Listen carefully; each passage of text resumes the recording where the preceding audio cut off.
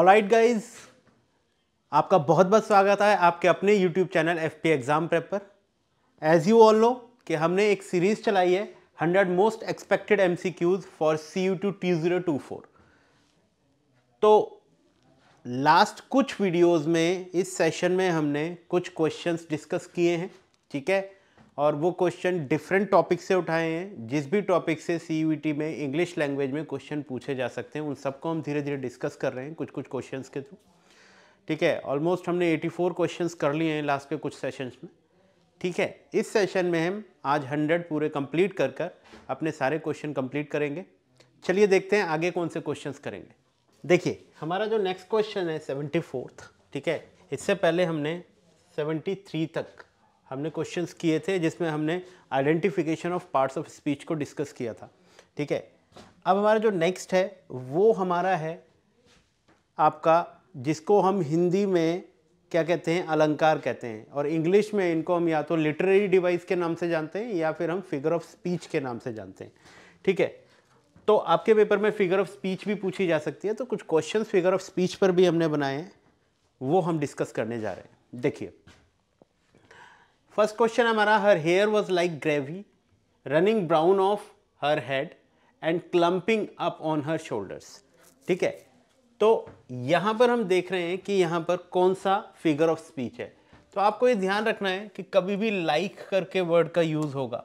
कभी भी like like करके या एज एज कर कर वर्ड का यूज़ होता है। तो लाइक like और एज लग कर हम दो डिफरेंट चीज़ों का कंपैरिजन कर रहे होते हैं। ठीक है? किसी चीज़ का, किसी किसी दो डिफरेंट चीज़ों का कंपैरिजन हम लाइक और एज एस से कर रहे होते हैं। तो जब भी लाइक और एज एस से कंपैरिजन किया जाएगा किसी भी चीज़ का तो आप ध्यान रखेंगे हमेशा वहाँ पर सिमिली हमारा क्या होता है? आंसर होता है। सिमिली हमारा आपका फिगर ऑफ़ स्पीच हो जाएगा वहाँ पर। ठीक है तो यहाँ पर सिमिली है। नेक्स्ट देखते हैं हम बच्चों। नेक्स्ट है there was a loud thump coming from downstairs thump thump thump तो बेसिकली जब भी आपको ऐसा दिखाई पड़े कि किसी साउंड को ही हमने एज अ वर्ड यूज़ किया हुआ है, किसी चीज़ का ओरिजिनल साउंड और उस साउंड को ही जब उठाकर वर्ड की तरह हम यूज़ करते हैं तो वहाँ पर भी एक फिगर ऑफ़ स्पीच होता है, जिसको हम कहते हैं ओनोमेटोपिया क्या कहते हैं? ओनोमेटोपिया तो हमारा ये क्या है answer onomatopoeia thump thump thump जैसे किसी के चलने की आवाज़ होती है, उसको ही यूज़ कर लेते हैं हम as a word as a word use कर लेते हैं। तो थम्प यहाँ पर ओनोमेटोपिया है। नेक्स्ट देखते हैं, बच्चों। The phone rang loudly ring ring ring तो ये भी क्या है? फ़ोन की आवाज़ है। तो अगर फ़ोन की ये आवाज़ है तो इसका मतलब ये भी क्या है? हमने उसके साउंड को एज अ क्या यूज़ कर लिया है? वर्ड यूज़ कर लिया है। तो यहाँ पर भी हमारा क्या बनेगा? ओनोमेटोपिया ठीक है? नेक्स्ट वर्ड देखते हैं, बच्चों। Her cheeks are big red apples from the cold देखिए, यहाँ पर ये जो आर यूज़ हुआ है, अब आर की बात नहीं कर रहे हैं हम। इज़ की एम की आर की वॉज़ वर बी बींग या बीन इनका जब भी यूज़ होता है तो ये बेसिकली बी फॉर्म्स होते हैं। बी फॉर्म्स क्या करते हैं? दो चीज़ों को क्या करते हैं? सेम बना देते हैं। जैसे मैं बोलूँ आई एम अ टीचर तो आई और टीचर ये दोनों सेम हैं। एम ने क्या किया? इनको इक्वल कर दिया।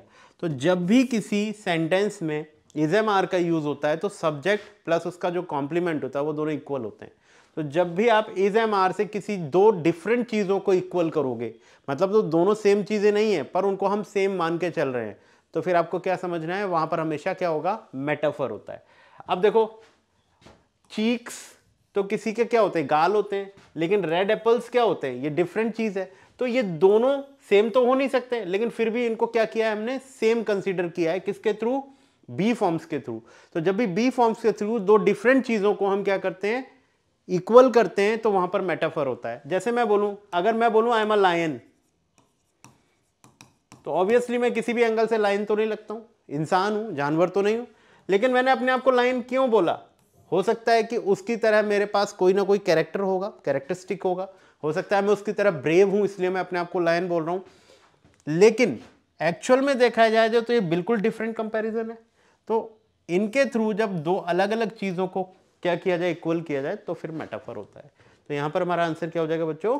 मेटाफर चलिए नेक्स्ट नेक्स्ट है life is like a box of chocolate you never know what what you are going to get what you are going to get हो जाएगा बेटा। यहाँ पर कॉम आ जाएगा। What you are going to get अब देखो यहाँ लाइक आ गया। तो मैंने अभी बताया लाइक और एज एज के थ्रू जब भी हम यूज़ करेंगे तो वह हमेशा क्या होगा?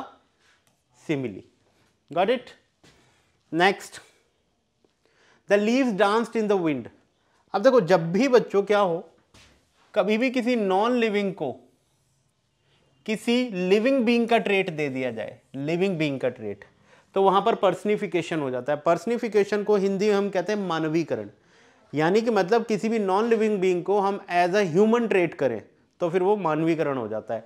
अब लीव्स क्या होती है? नॉन लिविंग बींग्स होती हैं, वो कभी डांस तो कर नहीं सकती। डांस कौन करेगा? जो जीवित है। और जीवित कौन होता है? लिविंग बींग्स जीवित होते हैं। तो कभी भी किसी नॉन लिविंग को लिविंग बींग को ट्रीट करें, किसी भी एक्शन के थ्रू किसी भी इमोशन के थ्रू इनके थ्रू अगर हम वो करें तो फिर वहाँ पर हमेशा क्या होता है? पर्सनिफिकेशन तो देखो हमारा आंसर है personification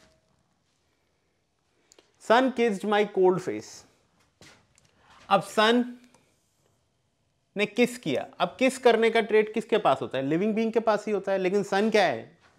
नॉन लिविंग है। तो फिर यहाँ पर भी क्या हुआ बच्चों? पर्सनिफिकेशन हो गया। Got it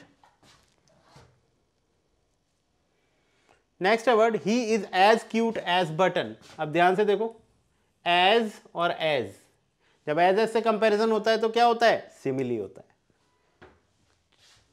Next he fought like a lion देखो आ गया like he fought like a lion like का मतलब simile my trees talk to me every day अब ट्रीज नॉन लिविंग है। नॉन लिविंग है तो वो बात कैसे कर सकता है? बात तो लिविंग बींग का ट्रेट है। अगर बात कर रहा है तो यहाँ पर क्या हुआ? पर्सनिफिकेशन और it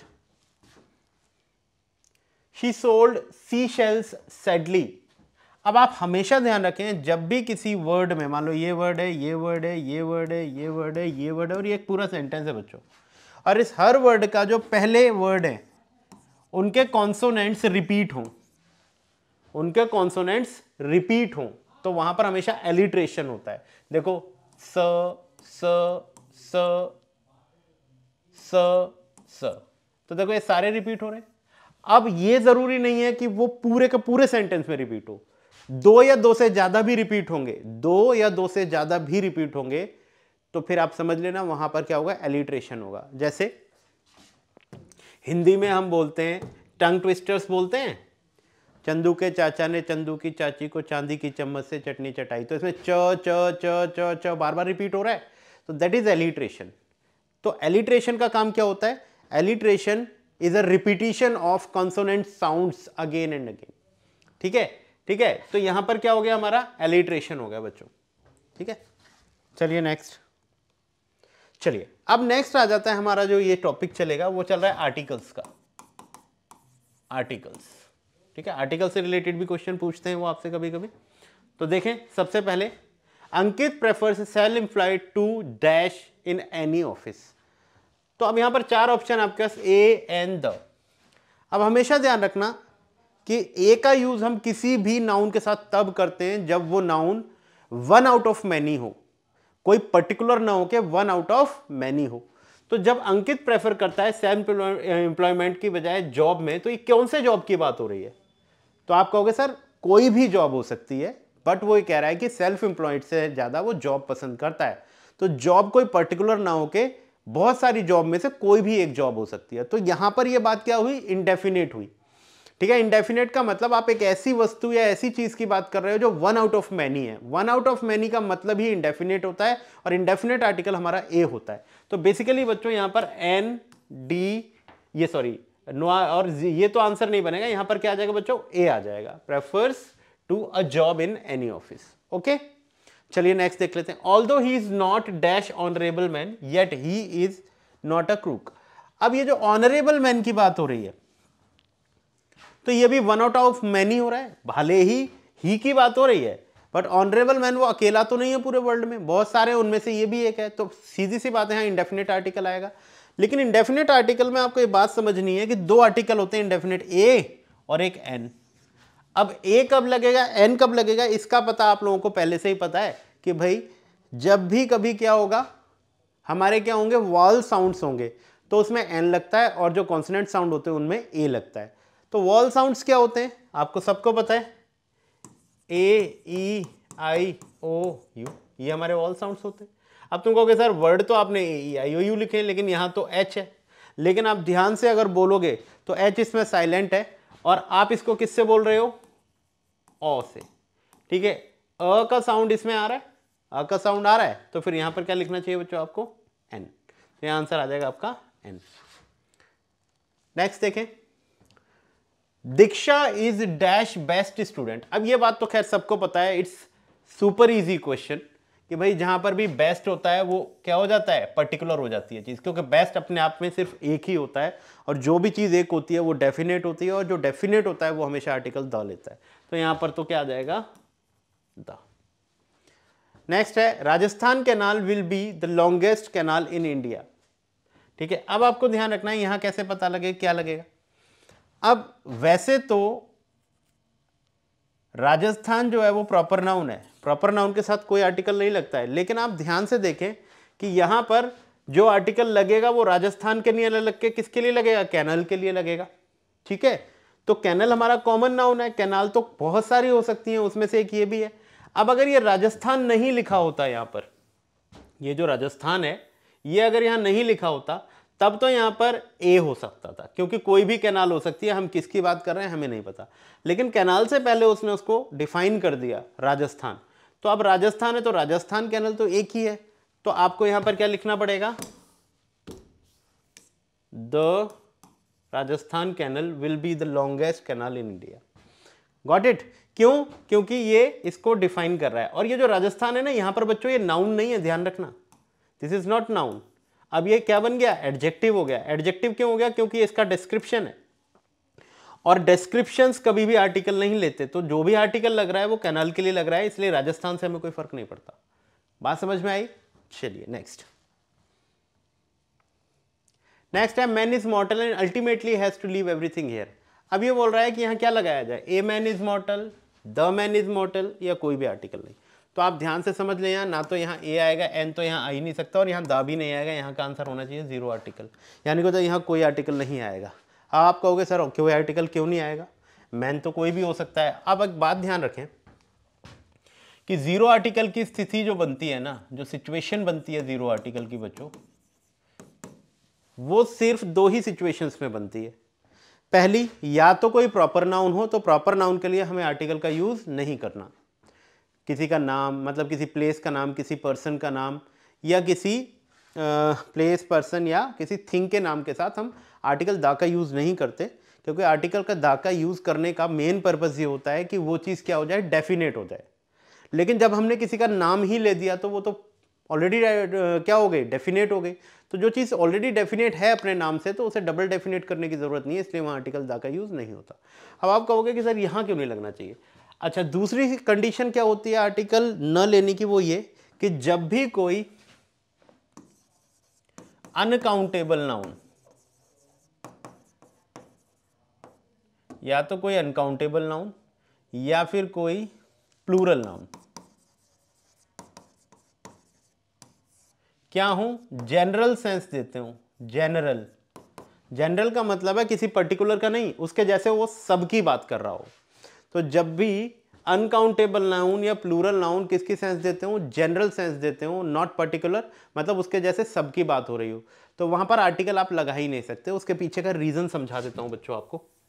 देखो अनकाउंटेबल होने की वजह से अनकाउंटेबल या प्लूरल होने की वजह से होता क्या है कि यहाँ पर एक आर्टिकल नहीं लगा सकते अनकाउंटेबल है प्लूरल नाउन के साथ। क्या ए और एन को यूज़ नहीं कर सकते? क्योंकि ए और एन का यूज़ तभी कर सकते हो जब वो काउंटेबल हो, जब उसे one two three four five में गिन सको। तो अनकाउंटेबल होगा तो आप गिन ही नहीं पाओगे। तो इसका मतलब है ए और एन का यूज़ तब नहीं कर पाओ और प्लूरल में तो ए एन का यूज़ करते ही नहीं। तो इसका मतलब है कि अनकाउंटेबल नाउन या प्लूरल नाउन के साथ ए और एन का यूज़ तो पहले से ही खत्म हो जाता है। अब बचा के दा का यूज़ करना है। तो दा का यूज़ भी किसी नाउन के साथ हम तब करते हैं जब वो डिफाइंड हो, जब हमें पता हो कि वो किसकी बात हो रही है। और जनरल चीज़ों में कभी भी डेफिनेट आप किसी चीज़ को कर नहीं सकते। भाई, अगर मैं बोलूँ, मैंने एक डॉग देखा तो डॉग कौन सा? नहीं पता, ठीक है? या फिर मैं बोलूँ कि ट्रीज गिव अस ऑक्सीजन मान लो ये मैंने सेंटेंस लिखा trees give us oxygen so so, मैं कौन से ट्रीज की बात कर रहा हूँ? तुम कहोगे सर ट्रीज कौन से हैं? सारे ट्रीज की बात कर रहे हो। तो इट मीन्स आपने जनरलाइजेशन किया ना। आपको आपने किसी पर्टिकुलर डेफिनेट ट्रीज की बात नहीं करी ना कि यही पर्टिकुलर ट्रीज जो है वो ऑक्सीजन देते हैं। तो अगर उनको पर्टिकुलराइज कर दो आप तो दा लगा सकते हो। लेकिन यहाँ तो जनरल की बात हो रही है तो दा का भी यहाँ पर क्या खत्म हो गया सेंस खत्म हो गया। इसका मतलब ए एन इसलिए नहीं आ सकते क्योंकि वो प्लूरल या अनकाउंटेबल है। द इसलिए नहीं आ सकता क्योंकि वो डेफिनेट नहीं है। तो इसका मतलब ए एन द तीनों ही आर्टिकल खत्म हो जाते हैं जब हम किसी प्लूरल या अनकाउंटेबल नाउन को जनरलाइजेशन करके या जनरल सेंस में उससे बात करते हैं। तो अब आ जाओ इधर। अब यहाँ पर किस मैन की बात कर रहे हो आप? यहाँ पर किसी पर्टिकुलर मैन की बात ना हो पूरी मैनकाइंड की बात हो रही है। ठीक है? अब मैनकाइंड क्या होता है? अनकाउंटेबल नाउन होता है। अब ये अनकाउंटेबल हो गया ए एन तो लगेगा नहीं। अब हम ये भी नहीं पता हम किस मैन की बात कर रहे हैं। सबकी बात कर रहे हैं तो देखो यहाँ कोई भी आर्टिकल नहीं आएगा। नो आर्टिकल तो इसका आंसर बनेगा बच्चों ज़ीरो आर्टिकल ठीक है नेक्स्ट देखो she can speak dash Hindi Sanskrit and English fluently अब ये क्या है? किसी सब्जेक्ट के नाम है सॉरी किसी लैंग्वेज के नाम है. तो आपको पता है लैंग्वेज के नाम भी प्रॉपर ही होते हैं? लैंग्वेज के नाम के साथ कभी कोई आर्टिकल नहीं लगाया जा सकता, क्योंकि कोई भी जो नाम होता है, उसके साथ आर्टिकल यूज़ नहीं होता. तो ए द एन ये तीनों कदम यहाँ पर भी क्या आना चाहिए? ज़ीरो आर्टिकल ठीक है? नेक्स्ट है चलिए, अब ये जो आया टॉपिक हमारा मॉडाल वर्ब्स का आया, ठीक है? मॉडाल्स वर्ब्स भी हमारे पेपर में अक्सर पूछ लिए जाते हैं। चलिए देखिए द डॉटर आज her mother if she go dash if she go dash out अब हमें यहाँ वुड लगाना है या माइट लगाना है, ये डिसाइड करना है अब आपको ध्यान ये रखना है कि द डॉटर आज her mother if she go यहाँ से काट कर मैं गो आगे लिख देता हूँ, ठीक है? तो यहाँ पर होगा। द डॉटर आज her mother if she dash go out अब ध्यान से देखें कि वैसे तो मैं इसका आंसर आपको बता देता हूँ वुड होता है इसका आंसर माइट नहीं होता। ठीक है? अब यहाँ पर वुड ही क्यों आना चाहिए माइट क्यों नहीं आना चाहिए? हालाँकि ये कंडीशनल सेंटेंस है और कंडीशनल सेंटेंस में माइट और वुड दोनों आ सकते हैं लेकिन माइट का यूज़ ना पॉसिबिलिटीज के लिए किया जाता है। सो so, यहाँ पर पॉसिबिलिटी की बात नहीं हो रही यहाँ पर सीधा सीधा वो परमिशन ले रही है। तो परमिशन के सेंस में आप परमिशन नहीं वो ले रही है, वो फ्यूचर की बात कर रही है एक तरीके से। मतलब एक विल जो होता है, वो हमारा हाई प्रोबेबिलिटी के लिए यूज़ करते हैं और विल की वीकर फॉर्म वुड होती है। तो वुड हमारा वीकर फ्यूचर के लिए होता है। तो द डॉटर आज आज पूछा उसने her mother if she would go out क्या वो बाहर चली जाए? तो उसको ये भरोसा नहीं है कि उसकी माँ उसे बाहर भेज देगी, इसलिए वहाँ पर हमें विल की वीकर फॉर्म वुड का यूज़ करना चाहिए। माइट पॉसिबिलिटी के लिए यूज़ होता है तो यहाँ पॉसिबिलिटी की बात नहीं कर रहा है वो। इसलिए यहाँ पर क्या आंसर हो जाएगा हमारा? वुड आंसर हो जाएगा बेटा। नेक्स्ट देखो। Speak slowly lest you dash awake the child clear बता देता हूँ वुड यहाँ पर कभी नहीं लगा सकते आप। वुड गलत होगा। लेस्ट को हमेशा शुड फॉलो करता है बच्चों।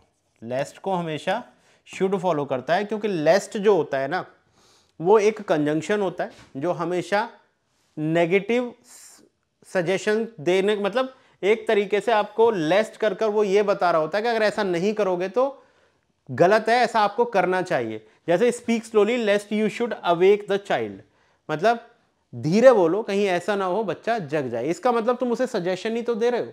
तो लेस्ट हमेशा किसको फॉलो करता है? शुड को फॉलो करता है। इसलिए लेस्ट कहीं पर भी आएगा तो सिर्फ़ एक ही मॉडल वर्ब का यूज़ करना है शुड नहीं तो हम ऐसा भी कर सकते हैं, हम कोई भी मॉडल वर्ब यूज़ ना करें, हम ऐसे ही बोल दें speak slowly lest you awake the child आप शुड नहीं लगाओगे तो भी ठीक हो जाए लेकिन अगर कोई मॉडल वर्ब लगाना है तो सिर्फ़ शुड ही लगेगा। गॉट इट चलिए नेक्स्ट नेक्स्ट है she came here so that she dash may या माइट मीट हर चाइल्ड अब मे और माइट दोनों ही पॉसिबिलिटी होते हैं, है ना? मे और माइट दोनों ही पॉसिबिलिटी होते हैं। अब ज़्यादातर बच्चे यहाँ कंफ्यूज हो जाएँगे, अब मे लगाएँ तो भी क्या प्रॉब्लम है और माइट लगाएँ तो भी क्या प्रॉब्लम है? तो इनका बेसिक डिफरेंस मैं आपको समझा देता हूँ। मे हमेशा हाई प्रोबेबिलिटी शो करता है और माइट लो प्रोबेबिलिटी शो करता है। अब इस सेंटेंस को पढ़ के आपको पता ही नहीं लगेगा कि भाई वहाँ हाई प्रोबेबिलिटी या लो प्रोबेबिलिटी है सेंटेंस पढ़ के कैसे पता लगेगा। लेकिन एक बात का ध्यान रखो, यहाँ पर पास्ट में चल रहा है एक सेंटेंस केम बोला है वर्ब की सेकंड फॉर्म है। अगर ये पास्ट में चल रहा है तो ये भी पास्ट में ही होना चाहिए। ठीक है? क्योंकि ये बात पास्ट की है तो मे की weaker form past form might होती है। तो क्योंकि हमारा मेन वर्ब पास्ट है तो हमारी सबॉर्डिनेट वर्ब भी पास्ट होनी चाहिए। बस यही इसकी पहचान है सही करने की। तो यहाँ आंसर आ जाएगा माइट तो हमारी मेन वर्ब पास्ट हो तो हमारी सबॉर्डिनेट वर्ब्स भी पास्ट होती है। नेक्स्ट देखते हैं। She dash read a book while watching TV during her school days अब यहाँ पर बड़ा कंफ्यूजन वुड लगाएँ या कुड लगाएँ? और आप में से ज़्यादातर बच्चे यहाँ कुड लगा देंगे, क्योंकि यहाँ पर क्या है? She could read a book while watching TV during her school days ठीक है? अब यहाँ पर आप इसको क्या लिखोगे? पास्ट की एबिलिटी मान के लिखोगे। लेकिन तुम ध्यान से देखो, ये उसकी पास्ट की एबिलिटी नहीं है। ये कोई एबिलिटी नहीं है। कोई भी बच्चा टीवी देखते देखते किताब पढ़ता है। ये उसकी हैबिट है। ये क्या है? उसकी हैबिट है। तो आपको ये ध्यान रखना है कि वुड का यूज़ जो होता है ना, वो पास्ट की हैबिट्स के लिए भी होता है। पास्ट हैबिट्स जिस तरीके से हम यूज्ड टू का यूज़ करते हैं, वैसे ही वुड का यूज़ पास्ट की हैबिट के लिए भी किया जाता है। तो कभी भी पास्ट की हैबिट की बात हो रही हो और वहाँ वुड दिया गया हो तो पास्ट की हैबिट के लिए वुड लगाया लगाया जा सकता है। तो ये वुड हो गया कुड नहीं आ सकता। तो आप कहोगे, सर यूज़ टू और वुड में क्या ही फ़र्क है? यूज़ टू में हमें पास्ट का टाइम देने की ज़रूरत नहीं होती है। Use to by default past की हैबिट मान लिया जाता है। लेकिन वुड के साथ ये प्रॉब्लम है कि वुड का यूज़ प्रेजेंट में पास्ट में और फ्यूचर में तीनों में हो सकता है। तो अगर हमें उसे पास्ट की हैबिट बनाना है तो हमें उसको पास्ट का टाइम देना पड़ेगा। Watching TV during school days तो ये पास का टाइम है। और वुड के साथ जब जब भी किसी सेंटेंस में पास का टाइम आ जाए तो वहाँ यूज़ टू का भी यूज़ कर सकते हो वुड का भी। अब यूज़ टू का तो ऑप्शन है ही नहीं हमारे पास। तो सीधी सी बात है पास्ट हैबिट वुड के लिए यूज़ होगा। गॉट इट बच्चों? चलिए। नेक्स्ट है दैट आई न्यू हर अब यहाँ पर समझ लो, यहाँ पर मे लिखें या वुड लिखें तो मैं आपको समझा देता हूँ, यहाँ मे नहीं आएगा, यहाँ वुड ही आएगा। क्यों? मैं आपको समझा देता हूँ। कुछ वर्ड होते हैं हमारे would that oh that if only ये तीन वर्ड होते हैं, जिनका तीनों का मीनिंग सेम होता है। आई विश इसका मतलब क्या होता है? आई विश तो यहाँ पर ये जो मॉडल वर्ब है ना वुड ये इस फ्रेज का पार्ट होता है बेटा वुड दैट वुड दैट का वुड दैट पूरा एक फ्रेज होता है और दैट से पहले वुड लगता है तो उसका मतलब आई विश हो जाता है। तो यहाँ बोलना चाहता है I wish that I knew her काश मैं उसे जानता। तो यहाँ पर दैट लगाए तो यहाँ वुड ही आएगा, सीधी सी बात है वुड दैट वुड दैट एक पूरा का पूरा फ्रेज है तो याद रखें वुड दैट में क्या करते हैं दैट लग के पीछे वुड गायब कर देते हैं तो वो आ जाता है आपके पास कभी कभी तो would that o that if only ये तीनों सेम चीज़ें हैं, इनका मतलब आई विश होता है। ओके क्लियर चलिए नेक्स्ट देखें। According to the weather forecast it dash snow heavily tomorrow अब सीधी सी बात है कि शेल तो हमारे हमेशा फ्यूचर की बात करते हैं प्योर फ्यूचर की बात होती है। तो यहाँ फ्यूचर की बात तो हो रही है बट फ्यूचर में भी वो क्या शो कर रहा है? पॉसिबिलिटी शो कर रहा है। तो शेल में और मे में फ़र्क होता है। शेल तो मतलब होता है हाई प्रोबेबिलिटी बट फोरकास्ट ने फोरकास्ट करने का मतलब तो प्रोबेबिलिटी तो है, लेकिन होगा नहीं होगा ये लो प्रोबेबिलिटी में होता है तो इट मे पॉसिबिलिटी शो करता है। शेल पॉसिबिलिटी शो नहीं करता है। शेल हमेशा फ्यूचर बताता है और मे हमेशा पॉसिबिलिटी शो करता है। तो यहाँ पर मे आ जाएगा। It may snow heavily tomorrow what it चलिए next dash I see him I will give him the message अब देखो, यहाँ पर भी थोड़ा सा ध्यान रखेंगे आप लोग। यहाँ पर वुड नहीं आएगा, यहाँ आएगा शुड और ज़्यादातर बच्चे कहेंगे, सर शुड का तो कोई सेंस ही नहीं बन रहा यहाँ। हाँ नहीं बनेगा सेंस अगर तुम शुड का मतलब सजेशन ही समझोगे हमेशा। शुड का मतलब सजेशन होता है, लेकिन शुड का मतलब हमेशा ही सजेशन नहीं होता है। ये ध्यान रखेंगे। शुड का मतलब